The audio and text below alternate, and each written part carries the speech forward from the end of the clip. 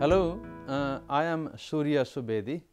Uh, I am professor of international law and the author of the study guide which you have been consulting on international economic law. Today, I will talk about very briefly what I cover in section B of the course on international economic law. Section B is focused mainly on international economic law institutions. For instance, the World Bank and IMF and International Monetary Fund in full form and other United Nations agencies. What role they have in international economic law, why they were established, what is their mandate, what is their working methods and what are the challenges these institutions themselves are facing today. So, basically from a legal point of view, what these institutions are about and how they are operating today, what impact they are having on people's lives around the globe or on the lives of companies or even the nations and how they are able to cope with the challenges brought about for example, by the ongoing international financial crisis. To begin with um, the World Bank. The World Bank was established soon after the conclusion of the Second World War. Around the time the United Nations was established, there was a, a plan to create in the form of a political body the United Nations and the World Bank to finance the development projects of the countries which were destroyed or devastated by the Second World War to assist them to develop their infrastructure and the International Monetary Fund to bring about financial and monetary stability. These were the reasons these institutions were established, but their mandate remains the same, but their working methods have changed over the years.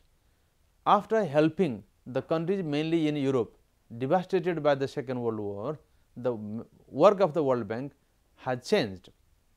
In the 60s, 70s and 80s, the World Bank was very much involved in financing the development projects of the countries in Asia, Africa, Latin America, which had obtained their independence, but needed international financial support to develop their economy, to develop their infrastructure.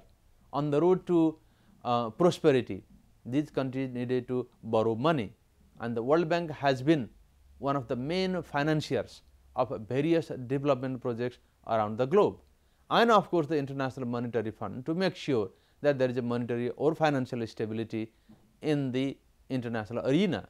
These are the reasons why these institutions have played a very important role over the past 50, 60 years in international economic law.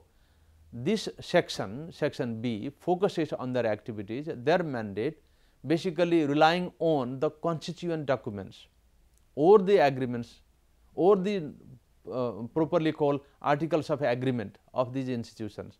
What are they uh, supposed to be doing, how they operate, what are the um, problems associated with the implementation of the articles of agreement.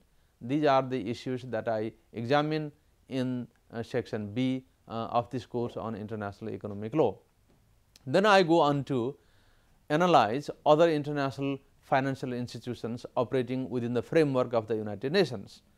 Um, what role they have to uh, play, what role they were supposed to play, uh, whether under the charter of the United Nations or for instance UNCTAD established by a resolution of the United Nations General Assembly.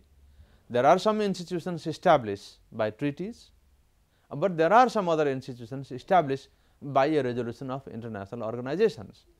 So, what role they are supposed to play and how they are performing and uh, how they interact with everyday reality of the world, various economic in, um, issues, uh, socio-political issues, uh, to do with sustainable development, to do with regulation of foreign investment, to do with uh, financing of big development projects. For instance, the World Bank, how does it get involved in controlling corruption? It lends money to governments around the globe, but how to make sure that the money is properly spent on the projects that they are meant to be spent for. And the International Monetary Fund is there to make sure that the states have a sound policy in place to benefit from the financing or the financial support that the, the developing countries receive from the World Bank and International Monetary Fund. International Monetary Fund is there to make sure that the states benefit from the money that these institutions have lent to them. But how far these institutions can go in dictating uh, the terms and conditions under which the money is spent by the receiving money receiving countries. So, these are the issues that I look at and then I with particular focus on the uh, nature and scope of these institutions and the current challenges they are facing. For instance, the international financial crisis which is ongoing, number of countries have been affected by it, how the World Bank and IMF have responded to that challenge. What is the policy uh, applied by these uh, agencies to lend money and how what is the supervisory mechanism these institutions have put in place to make sure that the um, money lent to them is spent in a responsible manner. These are the issues that I look at and then introduce you to various competing arguments, introduce you to the current legal framework that is in existence within these institutions and then what are the challenges uh, and how they are responding to the current challenges. That is how basically trying to make the law basically relevant to the everyday issues that the world is confronting today. And that has been my objective in writing the uh, study guide on international economic law and the uh, section on international law of institutions or international development law. Thank you.